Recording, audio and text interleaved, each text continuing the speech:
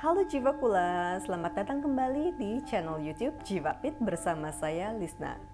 Hari ini saya akan mengajarkan Anda satu yin pose yang dinamakan banana pose. Jadi untuk banana pose ini sama dengan namanya, kita akan melengkungkan tubuhnya seperti pisang atau letter C. Target area yang mau dirasakan hari ini adalah pemanjangan pinggang sampai ke bahu ataupun juga jari-jari tangan. Hari ini kita cukup menyiapkan satu selimut dan satu bantal. Apabila sudah siap, mari kita mulai yuk.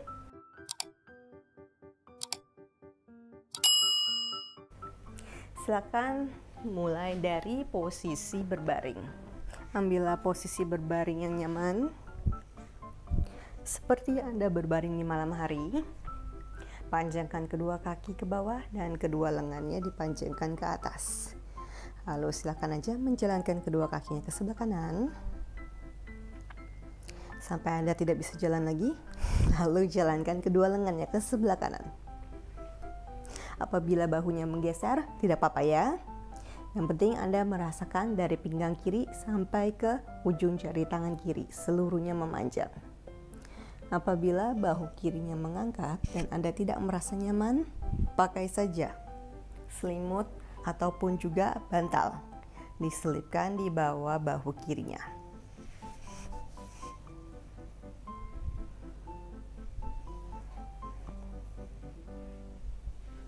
Nah, bagi Anda yang pinggang kirinya mengangkat dan Anda merasa tidak nyaman juga, silakan pakai bantalnya, diselipkannya di bawah pinggang sebelah kiri. Di sini apabila sudah cukup, stay aja yang masih merasa belum cukup dan belum merasakan sisi tubuh kirinya memanjang, boleh aja menghilangkan kaki ataupun juga menyilangkan lengannya seperti ini. Yang penting lengan, bahu, seluruh tubuhnya bisa rileks di posisi ini.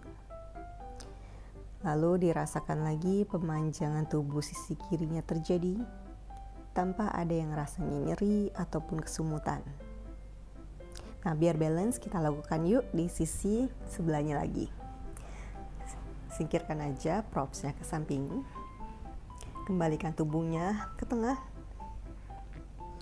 Lalu seperti tadi, silakan aja jalankan kakinya ke sebelah kiri sekarang.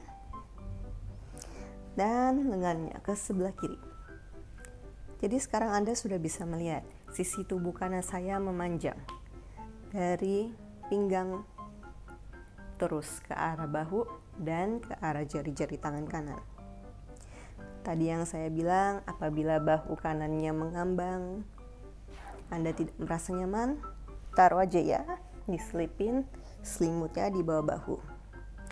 Yang pinggangnya atau pinggulnya mengangkat seperti ini dan Anda ngerasa tidak nyaman juga, boleh selipkan bantalnya di bawah pinggang atau pinggul.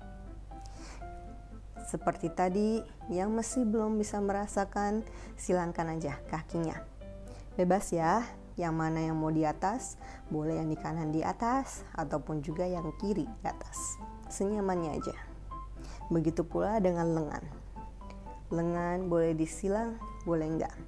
Yang tidak nyaman seperti ini, bahkan boleh melebarkan saja lengannya.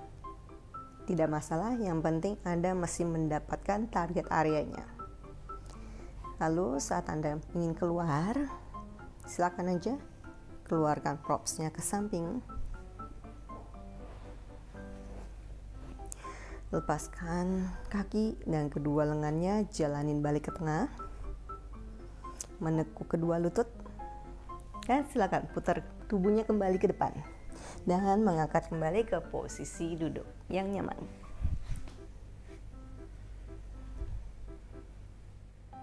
Sekian tutorial hari ini teman-teman. Apabila Anda suka video ini, jangan lupa ya di klik like, share, dan komen.